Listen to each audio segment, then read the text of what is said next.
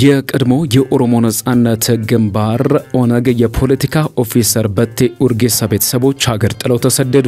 ሩሲያ የኢትዮጵያ የወደብና የባህር መዳረሻ በር ፍላጎት በመልካም የጉርብትና መንፈስ እንዲፈጸም ጠየቀች። ሰላም ጤና ይስጥልን፣ እንደምን? ውድ የኢትዮጵያ ሪፖርተር ዲጂታል ሚዲያ ቤተሰቦች የሰዓቱ መረጃዎቻችን ቀደም ሲል ባደመጣችኋቸው አርዕስተ ጉዳዮች ጀምሯል። እስከ ፍጻሜው አብራችሁን ቆዩም።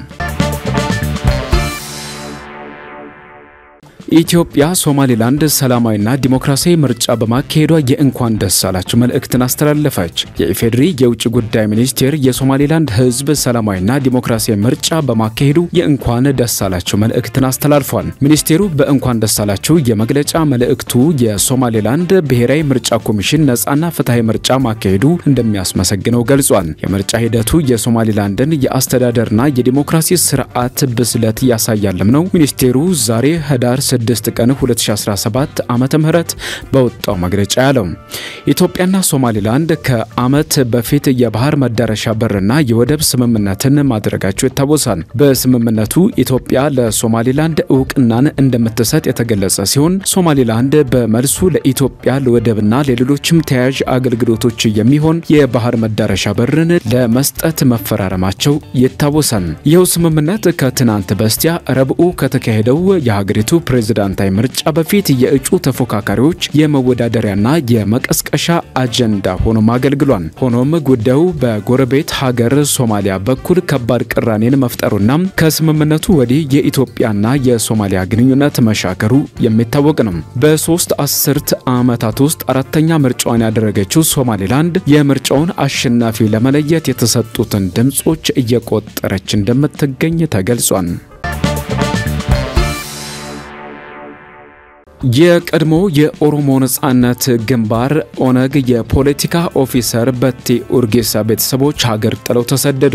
የነፍስ ኄር በቴ ኡርጌሳ ቤተሰቦች የቀድሞ ፖለቲከኛ ከተገደለ ከሰባት ወራት በኋላ አሜሪካ ስለ መግባታቸው ተሰምቷል። የ42 ዓመቱ ጎልማሳ በቴ ኡርጌሳ ባሳለፍነው ዓመት ዕለተ ረቡዕ ሚያዝያ 3 ቀን 2016 ዓ ም በትውልድ ከተማቸው መቂ በአሰቃቂ ሁኔታ ተገድለው መገኘታቸው ይታወሳል። ግድያውን አስመልክ ተው በወቅቱ የወጡ መረጃዎች አቶ በቴ ኡርጌሳ በበርካታ ጥይት ተደብድበው በአሰቃቂ ሁኔታ መገደላቸውን አመልክተዋል። አስከሬናቸው ከመቂ ከተማ ወጣ ብሎ በሚገኝ ቆሻሻማ ስፍራ ተጥሎ ስለመገኘቱም ነው በወቅቱ ተነግሮ የነበረው።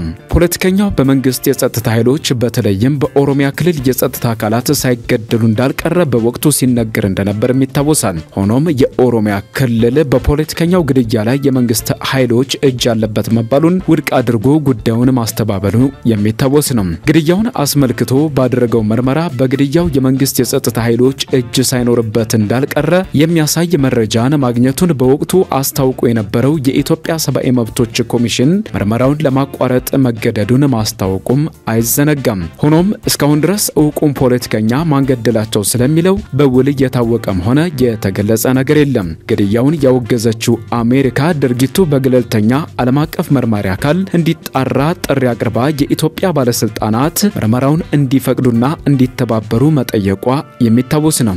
ግድያውን ተከትሎ ቤተሰቡን የማስተዳደርና የመምራቱ ኃላፊነት የወደቀባቸው የሟች ባለቤት ወይዘሮ ስንታየ ዋጂ ከባለቤታቸው ሞት በኋላ የተወለደች የመጨረሻ ልጃቸውን ጨምሮ አምስት ልጆቻቸውን ይዘው ወደ አሜሪካ ስለመሰደዳቸውም ሁኔታውን አስመልክተው የወጡ ዘገባዎች አመልክተዋል።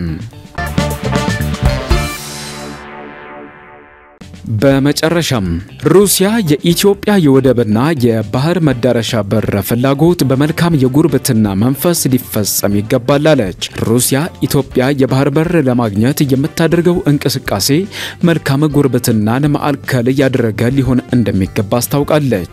ጉዳዩን በተመለከተ ሩሲያ ምን አቋም እንዳላት የተጠየቁት በኢትዮጵያ የሩሲያ አምባሳደር ኤቭጌኒ ተሬኪን ፍላጎቱ በመልካም የጉርብትና መንፈስ ሊፈጸም ይገባል ብለዋል።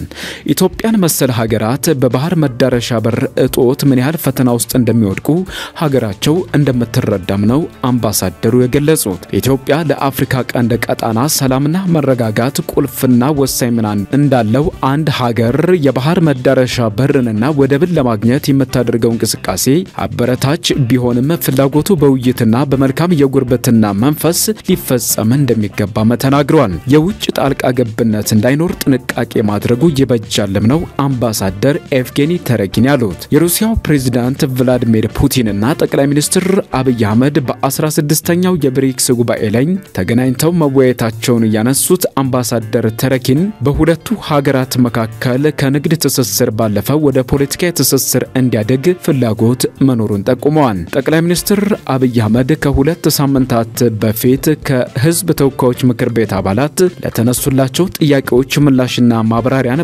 በሰጡበት ወቅት ስለ ወደብ ጉዳይ ሲናገሩ ኢትዮጵያ የቀይ ባህር ሰላማዊ በሆነ መንገድ ያስፈልጋታል፣ ነገር ግን በጦርነት ሳይሆን በሰላማዊ መንገድ ነው ተጠቃሚ የምንሆነው ሲሉ መናገራቸው ይታወሳል።